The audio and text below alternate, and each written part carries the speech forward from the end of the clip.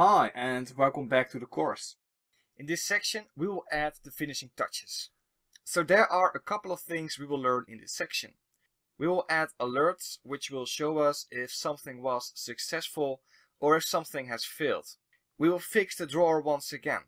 And we will use Laravel Echo to listen for the artist created event and respond to it accordingly. We will do the same for the artist updated and artist deleted event. In this video, we will add alert messages to our application. So in order to accomplish this, we need to store the alert messages in our store. We will create a new module for this, the application module. And next, we will update the actions to notify if an action has been finished. The last step in this video is to show the alerts on the layout. Now open your editor of choice and make sure the development server is running. And also make sure that the Vagrant box is up and running. So we need to create a new module for storing the alert messages. And I think we would need a global application module. An alert module is also a possibility, but I'll stick with application module. So go into the source directory, into the store directory, modules, and I'm gonna grab artist, duplicate it, and call it application. Alright. I'm gonna remove all the actions right here. I need a proxy, so this can be all gone.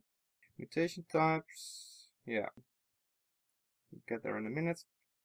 Alright, so we have alerts, which is an empty array, and we will fill this array uh, when we add or remove alert message. Now go to the mutation types, application module, and we want to add two mutation types. We want to add add alert and remove alerts. Remove alerts. Here we go. Now go into the actions.js file.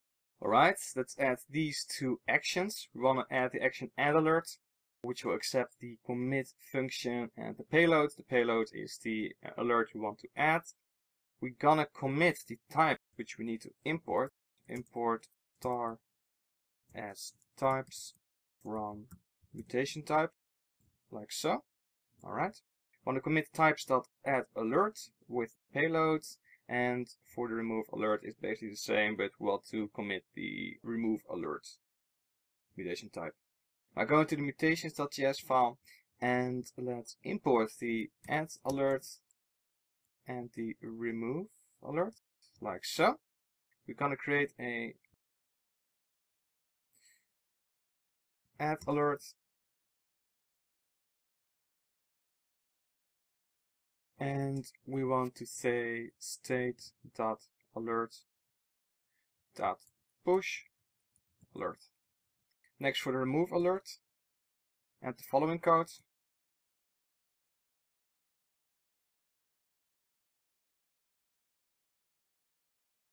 Alright, for the remove alert, we want to say that alerts will be the state dot alert and we'll filter all the items where the alert isn't the same as the one that we want to remove.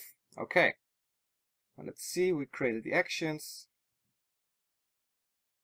created the mutation types and the mutations,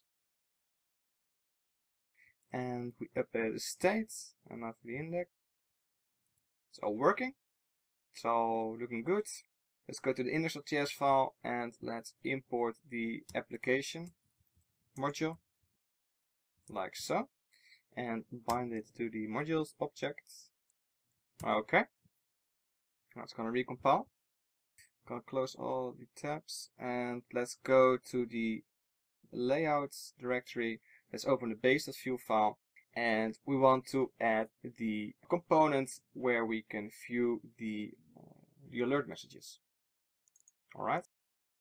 So right above the slot we want to have a new component called v-aligner and this component will align the, the content that's inside to a specific location. And we want to align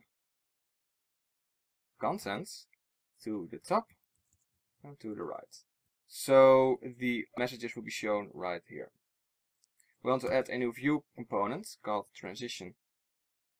Alright. Basically the same for transition, but it will transition a v-for, so the items that are shown inside this group. Next up, we want to have the v alert, like so. And we want a v-for alert in still unclear where we're going to grab that. The variant will be alert.type and the key will be alert. So the alert message will consist of the content and type. The type will be if it is a successful message or a dangerous message or an error message. So yeah, you can specify this with type and it will show the correct styling accordingly. Next up we've got TV alert uh, body with the alert dot message v alert close and when we click it we want to say remove alert alert and we want to have an icon. Close. Alright. Over what items are we going to loop well because we are accessing the store we can use the map state once again. So I'm gonna create a computed object. We're gonna call the map state. I'm gonna map over the application. We're gonna say application will be state uh, state like so. Okay, now import it at the top. We're gonna import map state from Vuex. Okay. So here we can do application dot alerts. Cool. And now for the remove alert method that we are referencing right here, we can go and add a new method, alert, with the given alert. And we can say this dot store dot dispatch application remove alerts. I wanna add the alerts. Okay. Now to test it out, let's go into the store directory, modules, application, and open the state. And we're to add a new alert. The type will be success. And the message will be this is a temp alert, like so. Alright, it's gonna refresh, and here we go. So, when we click close, yeah, it's working as we would expect. Cool. Now let's also update the minimal.vue file. Alright, let's add the following code. So we've got the aligner again, and we want to display the alert messages on the bottom right. And we've got another transition group, and we'll add the transition after this. We have the v-alert, we're going to v-for loop over the application alerts. The variant will be the type, just like we did before, so it's basically the same. And right here with the computed property, we are gonna bind the application to our layout and the remove alert method that we are firing when we click the, the close button. Okay, now log out. Let's see if it is working. Here we go, this is a temp alert. But as you can see, when I click the alert message, we do not see a fancy transition. Just like we did before with transition, we can add a transition a name to the transition group. So right here, I would like to use the fade transition. Let's see if it is working. Right, here we go. It's fading nicely. And, and right here I want to use a fade left animation. So let's create a new transition file called fade left. Okay. And we're gonna rename slide left to fade left. Not sure if this is working, but we'll see. Okay. Um, next we need to restart our development server. YarnD is short for yarn run dev. And at our base.vue file, let's specify the transition we want to use by just typing name fade left, like so. And while we're at it, let's also create a new danger. This is a danger temp alert. Oh, success. This is a success temp alert. Okay. Let's wait for the development server to boot, and here we go. Okay, so we got three notifications. I'm gonna click the first one. Yeah, that's looking good. Okay, sweet. Now we need to remove these temporary messages and add the functionality to our Tor.